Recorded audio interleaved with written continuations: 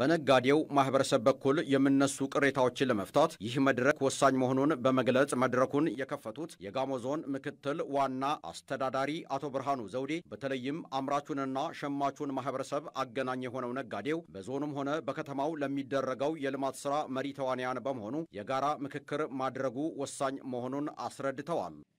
አምራቹ በኢንዱስትሪውም በግብርናውም በሌላውም ዘርፍ አምራቹ ከሸማቹ ጋር የሚገናኘው በነጋዴው በኩል ነው። የአርባ ምንጭ ከተማ ንግድና ገበያ ልማት ጽሕፈት ቤት ኃላፊ ወይዘሮ ዮርዳኖስ ወንድፍራው በርካታ ነጋዴዎች ግብርን በሕጉ መሰረት መክፈል ክፍተት እንዳለባቸው ጠቅሰዋል። በሌላ መልኩ ሕጋዊነትን ተከትለው ግብርን በአግባቡ የሚከፍሉ መኖራቸውን ነው ያብራሩት። ሀገር ከዘርፉ መገኘት ያለበትን ግብር በመሰብሰብ የልማት ስራዎች እየሰሩ ለመቀጠል አስፈላጊ የሆኑ በተለይ አገልግሎት አሰጣጥ ላይ በበጀት ዓመቱ የታቀዱ እቅዶችን መነሻ በማድረግ የተለያዩ ስራዎች ሲሰሩ ቆይተዋል።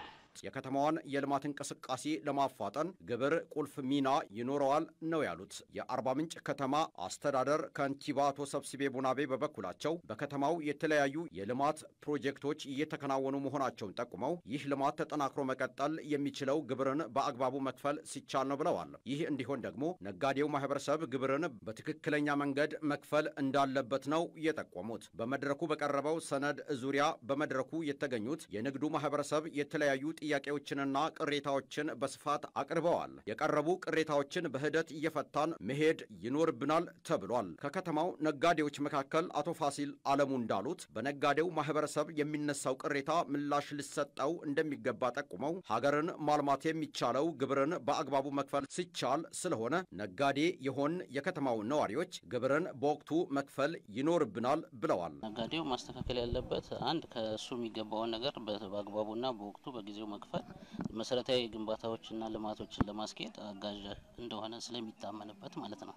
ሌላኛዋ የከተማዋ ነጋዴ የሆኑት ወይዘሮ ሳራው ሳኬ በበኩላቸው ግብር በአግባቡ እንድንከፍል የገቢዎች ጽሕፈት ቤት ታች ወርዶ ስራዎችን መስራት ከቻለ ከግብር አሰባሰብ ጋር ተያይዞ የሚነሳው የአሰባሰብ ጉድለት ይፈታል ሲሉ ነው የተናገሩት። አቶ ወንዱ ወርዶፋም ነጋዴ ሲሆኑ ግብር ከሌለ ሀገር እንደማይለማ ገልጸው ለዚሁ ደግሞ እኛ ነጋዴዎች ግብርን በአግባቡ መክፈል ይኖርብናል ብለዋል።